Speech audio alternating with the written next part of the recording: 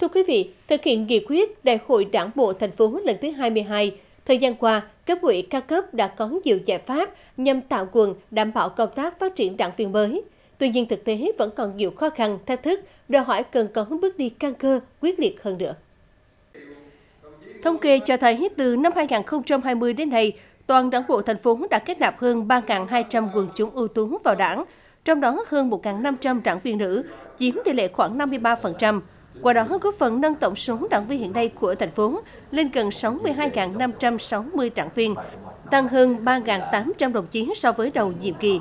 Nhận thức rõ tầm quan trọng trong công tác phát triển đảng, nên ngay từ đầu nhiệm kỳ, cấp ủy các đơn vị địa phương đã chú trọng hơn đến việc tạo nguồn để phát triển đảng viên mới. Đặc biệt đó là ở dưới khu khu vực dân cư ấy, thì chúng tôi đang tập trung vào là phân tích cái nguồn của thanh niên, của phụ nữ, của một số các cái đoàn thể khác. Rồi à, tổ trưởng, tổ phó tổ dân phố, trưởng phó ban công tác mặt trận. Để làm sao đó là tạo cái nguồn xác định cái nguồn phát triển đảng.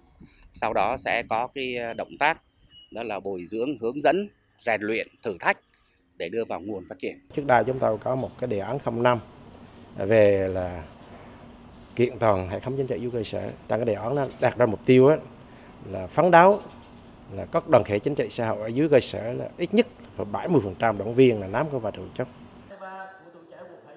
Thực tế cho thấy thời gian gần đây, công tác tạo nguồn phát triển đảng viên gặp nhiều khó khăn, số lượng đảng viên mới không đạt chỉ tiêu nghị quyết đề ra.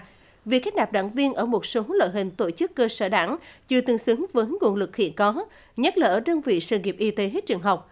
Một số lĩnh vực và địa bàn dân cư chưa có đảng viên, một số tổ chức đảng nhiều năm liền kết nạp được rất ít, thậm chí có nơi không kết nạp được đảng viên mới.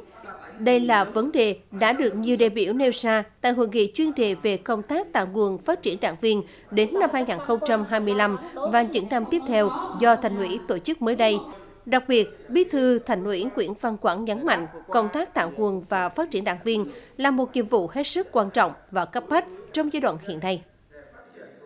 Cần tiến hành ra soát, đánh giá và xác định rõ nguồn phát triển đảng viên tại cơ quan, đơn vị địa phương mình đảm bảo sát đúng đến từng đối tượng và trên cơ sở đó để đề ra các cái chỉ tiêu bám sát theo nghị quyết 21 của Ban chấp hành Trung ương và chương trình hành động số 17 của Thành ủy. Thì tôi xin nhấn mạnh lại là đây là chỉ tiêu pháp lệnh nên là chúng ta phải thực hiện. Nhưng muốn thực hiện được thì chúng ta phải giả soát lại toàn bộ các cái nguồn để mà chúng ta có cái kế hoạch cho nó sát đúng Kết nạp đảng viên là nhiệm vụ quan trọng thường xuyên, có tính quy luật trong công tác xây dựng đảng. Trong đó khâu tạo nguồn, bồi dưỡng đối tượng kết nạp đảng có ý nghĩa đặc biệt quan trọng. Tiến hành công tác phát triển đảng viên là yêu cầu khách quan thường xuyên nhằm tăng thêm sức chiến đấu và bảo đảm sự kế thừa phát triển của đảng.